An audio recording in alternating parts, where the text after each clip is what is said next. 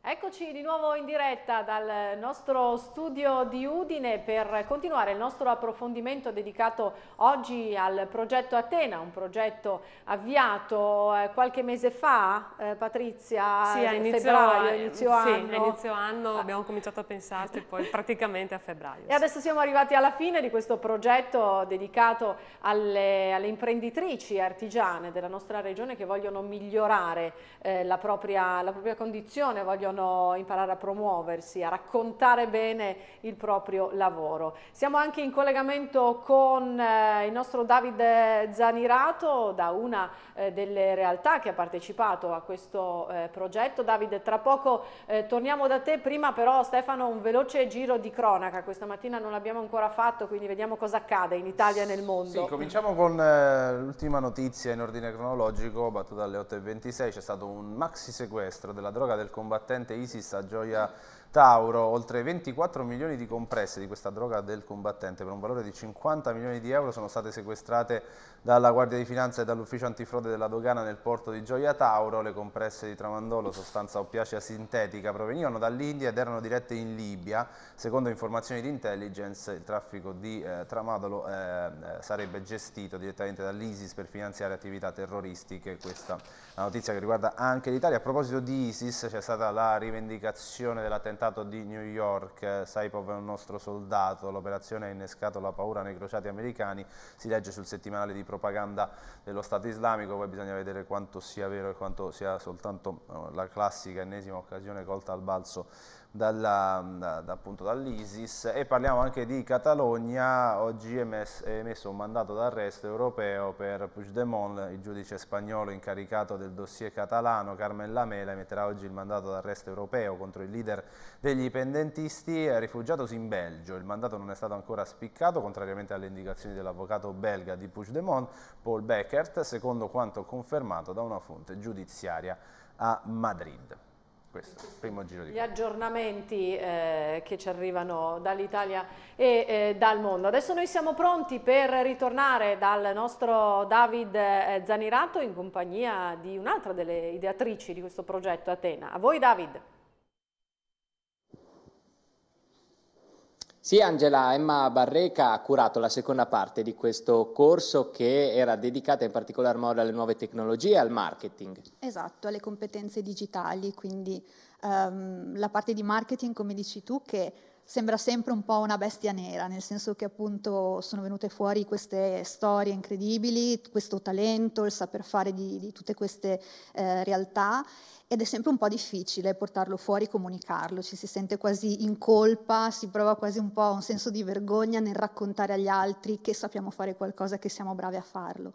Quindi diciamo che dopo il lavoro della prima parte, quindi quella di cui si è occupata Giovanna, abbiamo proprio cominciato col mettere su una mappa tutto quello che era emerso ehm, riguardo il talento, insomma i propri punti di forza, di debolezza, per andare a lavorare un po' su quella che poteva essere anche una strategia di comunicazione e di marketing. E poi in particolare ci siamo occupati di alcuni dei tanti canali online a disposizione, quindi in particolare di Facebook e di Instagram, eh, e quindi siamo passate al capire come ci si può raccontare, come ci si può promuovere eh, attraverso queste eh, nuove tecnologie, questi nuovi strumenti. Praticamente partivano tutte da zero su questo piano, c'era qualcuna già che aveva intuito che la strada è da seguire? Sì, eh, essendo così tante le partecipanti, diciamo che eh, c'era un po' di disomogeneità anche da questo punto di vista. Quindi anche, anche, per questo, piuttosto che focalizzarci solo sullo strumento digitale, che appunto può essere un canale o, o l'altro, abbiamo fatto un percorso un pochino più profondo, quindi l'idea di che cosa è il marketing, come eh, praticamente si può costruire una strategia. E abbiamo cercato chiaramente di eh, costruire un percorso che potesse prendere diciamo, tutte le varie, le varie partecipanti eh, indipendentemente dal proprio livello di, di consapevolezza e anche di conoscenza e, e già di utilizzo di questi, di, di questi, mezzi. Sappiamo che proprio lunedì nel corso di questa uh, cerimonia ufficiale insomma, di chiusura del progetto a Udine eh, parlerete anche in uh, maniera particolare di queste tematiche attraverso diversi relatori. Esatto, lunedì 6 novembre si chiude proprio ufficialmente eh, il percorso, il progetto Atena, eh, con una giornata intera di lavori. La prima parte sarà eh, dedicata sempre alle partecipanti del progetto, mentre la seconda è aperta al pubblico, quindi a partire dalle 14 e, e avremo vari interventi con delle relatrici esterne che ci racconteranno un po' dal loro punto di vista, in base alle loro esperienze, quello che è un po' il panorama eh, dell'artigianato e del mondo artigiano oggi. Eh, in particolare poi per continuare il discorso sulle competenze digitali avremo Linda Serra, eh, founder di Workwide Women, che è una community ma anche una um, una startup che praticamente si fonda proprio sulla um, formazione, diciamo così, in e-learning, quindi uh, prevalentemente online, e, e, che vuole insomma portare eh, nuova consapevolezza, nuove opportunità di lavoro eh, e di affermazione alle donne, soprattutto attraverso le competenze digitali. Quindi ci racconterà un po' meglio anche un punto di vista un po' più uh, aperto Certamente, grazie a Emma Barreca, noi tra poco ci trasferiremo dunque nei laboratori della eh, bottega Orafa qui di Via Cisis per mostrarvi davvero come si lavora. A tra poco. Grazie, grazie David. E a proposito degli appuntamenti in programma lunedì eh, pomeriggio, degli interventi, c'è anche un intervento di Eleonora Odorizzi di Italian Stories, che è questo eh, portale che racchiude, diciamo così, le esperienze, le storie di eh, tanti artigiani eh, che, eh, diciamo così, si mettono a disposizione di chi vuole scoprire e conoscere qualcosa di più della loro attività. Stefano, so che hai trovato il sito. Sì, c'è il sito appunto che permette di fare una ricerca su tutta la mappa italiana che qui avevamo già zoomato un po' nel, nel Friuli, comunque eh, ci sono tutti i punti di informazione, si può anche contattare eh, e lasciare il proprio recapito e poi ci sono tutti questi eh, workshop eh, che per seguire e eh, comunque farsi un tuffo in eh, tutte quelle che sono le varie eh, storie d'impresa con davvero tante, tanti tipi, eh, le basi dell'acquaforte o la stampa di una, di una matrice, c'è anche la malga con il burro, il formaggio, c'è davvero di tutto, ci si può iscrivere e poi partecipare a questi corsi, a questi workshop. E ci sono anche due realtà della, della nostra regione che hanno aderito a questo eh, circuito. Eh, tra poco torneremo da Davide che si sta spostando nel laboratorio proprio di questa oreficeria. Eh, prima però con la nostra ospite io andrei ad analizzare anche quello che lei ha raccontato alle partecipanti di questo eh, corso. Abbiamo parlato dell'empowerment, abbiamo parlato del marketing, però forse bisogna partire dal reperimento dei fondi anche per l'avvio di tutte queste attività. Forse è il primo passo, il primo ostacolo da, da superare. Eh, com'è la situazione? È facile, non è facile reperire fondi? Dove si va a vedere? Cosa si cerca? Chi offre? Allora, eh, no, canali ce ne sono, ce ne sono tanti. E, insomma sarebbe un lavoro solo quelli di cercare quelli che escono. Diciamo che alcuni, in particolare quelli che derivano da dall'Unione Europea ehm, che, che, poi ultimamente ha fatto secondo me saggiamente scivolare il tema delle pari opportunità uomo-donna dal settore sociale al settore mh, occupazionale lavorativo, quindi cerchiamo di raggiungerle attraverso delle azioni positive eh, so, richiedono una certa struttura, un certo numero di partner, certe competenze anche solo per scrivere e poi rendicontare i progetti. Certo. Questo progetto qua invece è stato finanziato, come dicevo, dalla Regione Friuli Venezia Giulia che ha delle misure specifiche per le pari opportunità di genere, alcune rivolte ai comuni, agli enti locali e altre invece, come in questo caso, rivolte alle associazioni. Eh, è una cosa più a, alla portata, più bisogna, agevole. più mm. agevole, sì, bisogna sicuramente saper scrivere il progetto perché eh, poi più passano gli anni, più queste misure vengono conosciute e più c'è concorrenza, quindi mh, mm, il progetto deve essere confezionato bene, però insomma si può fare a livello locale con un certo grado di controllo ecco, sul eh, sul processo, sui partner, siamo tutti vicini, è un po' più facile. Ecco. Se dovessimo dare un'indicazione semplice di base magari a, qualche, a qualcuno, a qualche donna che ha un'idea in testa e alla caccia di fondi, dove deve andare a cercare secondo lei? Ma allora, se una, appunto, um, questi fondi qua sono per eh, rappresentanti di, di donne, no? quindi mm -hmm. enti o associazioni, invece ci sono un sacco di fondi anche della stessa regione per quanto riguarda l'imprenditoria femminile, giovanile, eccetera, a cui uno può aderire e può cercare di, di accedere anche singolarmente. singolarmente. E siamo pronti adesso per ritornare da David Zanirato che vedo pronto nel laboratorio di questa oreficeria. Voi David? Sì, grazie Angela. Siamo davvero curiosi anche noi di vedere all'opera Clarice, che è la zia di Marta e che ora ci mostrerà una di, delle tante lavorazioni preziose che si svolgono all'interno di questa bottega. Signora Clarice, cosa ci mostrerà quest'oggi? Uno uno sbalzo, cioè con i ceselli in acciaio viene lavorata la lastra liscia. Adesso vi faccio un esempio.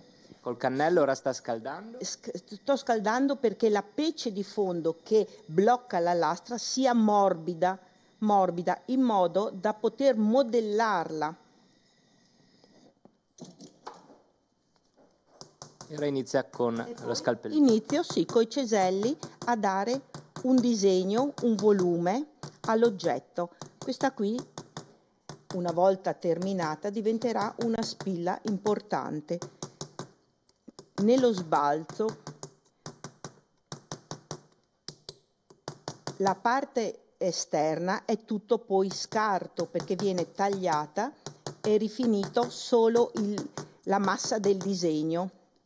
Il disegno che cosa rappresenta? Il disegno rappresenta una forma un po' astratta, però sempre con un criterio animalistico, quindi può esserci un orecchio, un becco, eh, delle gambette, delle zampette. Qui per esempio viene inserita una grossa pietra che è un cristallo di tormalina policroma. In questo spazio poi viene incastonato questo spazio, que, incastonata la pietra e questa parte viene tutta eliminata in modo che la forma che noi otteniamo di spilla è proprio solo la parte volumetrica. Vedete qui poi si può tutti questi ceselli forgiati a mano in acciaio hanno delle forme diverse secondo il segno che io voglio ottenere. Secondo il segno che io voglio ottenere. Un lavoro che chiede quanto tempo? Eh, parecchie ore di lavoro, parecchie ore. E poi riusciamo a vedere poi, opere di questo pregio. Sì, opere di questo pregio. Eh, questo diventerà un bracciale alla schiava rigido con delle pietre, questo è solo il modellino di cartoncino che poi viene impresso sulla lastra in argento, in oro, secondo. Ecco, questo qua è forgiato invece sbalzato in rame, questi sono modelli per un bracciale, questo è già un esempio di uno sbalzo, un piccolo frammento e l'oggetto sbalzato poi prende questo sapore. Davvero complimenti alla signora Clarice al laboratorio Orafo qui di Via Cisis. Eh, per l'ultimo collegamento vi mostreremo altre lavorazioni importanti che vengono fatte qui in eh, Via Cisis. A tra poco. David, una curiosità, puoi chiedere alla signora da quanti anni eh, fa questo lavoro e da chi l'ha imparato? È andata a scuola o gliel'ha insegnato qualche suo parente, chissà? Dallo studio, signora Clarice, sono curiosi. Da quanti anni svolge questo lavoro e chi gliel'ha insegnato? Beh, ho cominciato a otto anni che ero una bambina per giocare e il mio papà, il maestro Sergio, mi ha insegnato questo lavoro. Poi ho fatto l'istituto d'arte, i cinque anni. E I risultati si vedono. I risultati si vedono, anche perché proprio è un lavoro che mi piace tantissimo. Si vede, si vede, confermiamo. Mi piace, grazie, grazie. Complimenti a te Angela. È iniziato a fare questo lavoro a otto anni per gioco e poi insomma è diventata davvero una, una professione. E io andrei a sentire adesso, prima di eh, ritornare da David, le testimonianze di alcune delle donne che hanno partecipato a questi eh, progetti, così sentiamo anche cosa, cosa hanno raccontato loro e come hanno vissuto loro questa esperienza. Allora, io sono, faccio parte del movimento Donne Imprese della Confartigianato di Pordenone. Abbiamo appoggiato il progetto Atena e io ho frequentato un po' per farmi l'idea di come sono adesso le, eh, le imprenditrici che hanno già l'attività e quello che vogliono avviarsi all'attività. È stato un progetto, sì, delle, degli incontri molto positivi, eh, ho imparato anch'io, anche se ho un'impresa ormai da 40 anni, delle cose nuove, soprattutto sul digitale. Quello che ci hanno dato loro durante l'elezione aiuta sicuramente tantissimo ad aprire questa nuova impresa artigiana. Ho sentito la pubblicità per questo corso in TG regionale e mi ha incuriosito, ma soprattutto essendo io curiosa e ho sempre la voglia di imparare, mi sono presentata e sono stata accettata. Ho imparato molte cose che non sapevo. Ho incontrato delle persone che ritengo meravigliose perché ho scoperto una potenzialità nelle donne che frequentano questo corso incredibile. Quello che poi ho imparato, anche se non mi sarà necessario per la mia vita lavorativa, perché come vedete eh, io sono già avanti con gli anni, però mi è necessaria comunque per eh, la vita di tutti i giorni, per la vita anche in famiglia, per il dialogo con i nipoti, per il capire maggiormente quello che nella società sta evolvendo e quindi sono pienamente contenta e ho apprezzato i contenuti di questo corso e, e ho apprezzato le, le insegnanti. Sono, sono state all'altezza delle mie aspettative, forse anche di più. E sicuramente fare rete mi permette di essere anche più forte, di propormi anche con loro e con i loro suggerimenti nel, in futuro. E mi è piaciuto molto il clima che si è respirato in aula, dove mi sono sentita al pari degli altri e sicuramente anche le persone che ci hanno seguito durante questa avventura sono state piacevoli e ci hanno messo a nostro agio cercando di comprendere le nostre difficoltà e darci degli ottimi suggerimenti. La cosa più interessante per me è stata proprio scoprire l'opportunità che internet può offrire di questi tempi eh, nella vendita online dove è possibile veramente raggiungere un pubblico molto più vasto rispetto a quello che si potrebbe fare rimanendo qui nel nostro territorio. Ho imparato veramente molte cose.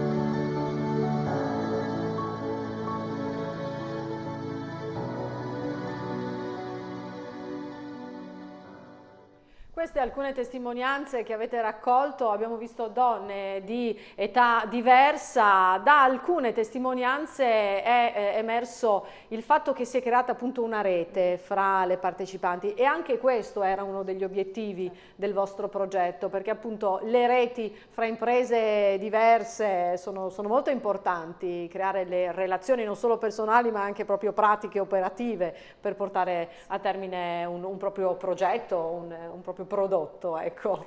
Sì, sia per il fatto che incrociando diverse competenze possono nascere anche a livello proprio di innovazione delle idee Mm, nuove che magari una persona da sola non potrebbe, sia perché in un mercato della, del lavoro così complesso entrare in una rete è sicuramente un punto di forza, infatti tanti degli interventi che poi avremo anche il, il 6 novembre eh, sono stati pensati per dare un'idea delle possibili reti in cui, eh, in cui si può entrare, si può che possono dare forza, visibilità, eccetera. Sicuramente. Ritorniamo da Davide adesso per un ultimo collegamento. Davide, a voi la linea.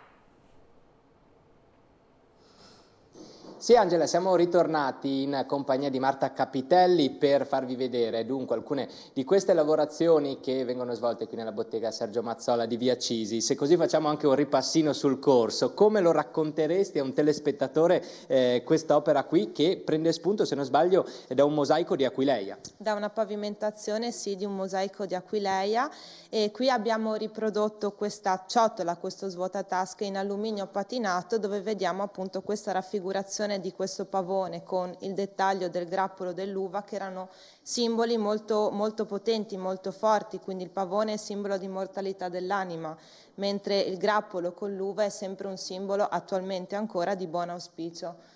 Ora ci trasferiamo invece in quest'altro banco per mostrarvi eh, alcuni dei premi che vengono consegnati in eventi di primo piano del nostro Friuli. Eh, partiamo per esempio da questa, che cosa si tratta, che cosa raffigura e a chi viene consegnata solitamente. Queste sono tutte e tre delle statuine sempre in alluminio fuso a staffa, che è una tecnica particolare dove viene impressa la forma desiderata nella terra su base di pietra piasentina, quindi anche questa è una pietra propria del nostro territorio friulano. Partendo da questo è, ehm, si chiama Ractis, è l'ultima nata diciamo in famiglia, e, ehm, è un omaggio per il ventesimo simposio di scultura su pietra di Vergnacco, quindi Areana del Royale. Areana del Royale. E, quindi al centro invece? Al centro troviamo i tre re, che è un omaggio che facciamo ogni anno per il premio Epifania di Tarcento, mentre questo è il premio Paolo Diacono realizzato per il convitto nazionale Paolo Diacono a Cividale. E questa statuetta quest'anno l'hanno vinta il questore Cracovia, Gianola Nonino e Bruno Pizzolo, è vero? Esattamente, esattamente. Grazie, grazie a Marta Capitelli, a tutte le nostre ospiti che ci hanno accompagnato nel racconto eh, di questo corso e di questa realtà artigianale friulana, grazie naturalmente a Fabio Di Bernardo per le, ri le riprese ed è tutto, a te Angela. Grazie, grazie David. Noi rientriamo in studio, siamo alle battute finali e chiedo alla nostra ospite se all'orizzonte c'è una riproposizione di questo progetto, perché come abbiamo visto lunedì 6 ci sarà la giornata conclusiva per tirare le fila un po' del lavoro fatto. Ci sarà un seguito?